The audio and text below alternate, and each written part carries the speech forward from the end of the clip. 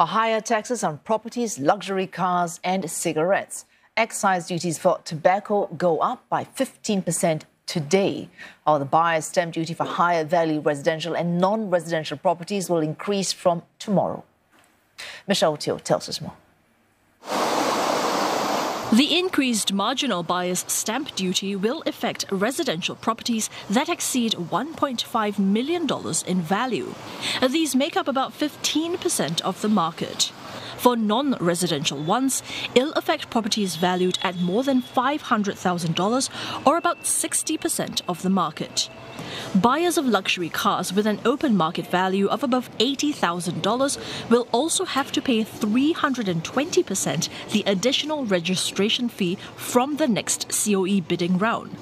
These, along with new taxes on tobacco products, are expected to generate some $800 million in revenue. Even as these contribute to Singapore's coffers, changing global stances on taxation threaten our takings. For instance, the take up of the base erosion and profit shifting initiatives, which are aimed at combating tax evasion by multinational firms. Under the first of two main pillars, large multinational firms have to reallocate profits to where the customers are, not just where business is conducted.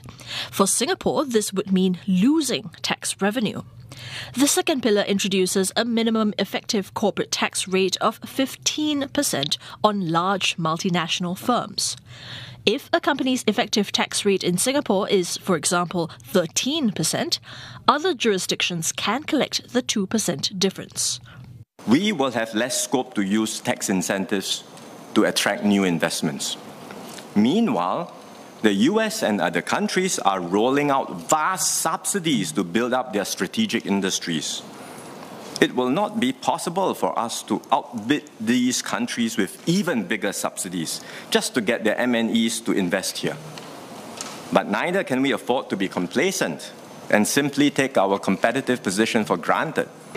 Despite the impact on the nation's competitiveness, Mr. Wong says Singapore will play its part by implementing Pillar 2 from 2025 onwards. At the same time, a domestic top up tax will be introduced to ensure that effective corporate tax rates for large multinationals hit 15%. One analyst says this means Singapore will have to focus more on non tax incentives to continue attracting investments. A tax incentive is likely going to be the icing, if not the cherry, uh, on the cake, but there are other factors. For example, you know, your access to uh, where your customers are, your proximity to your uh, suppliers, your connectivity with the rest of the world. And I guess one of the challenges that Singapore will have is to ensure that we continue to have all of this. Overall deficit for this budget is expected to hit 0.1% of GDP, and no draw on reserves is expected.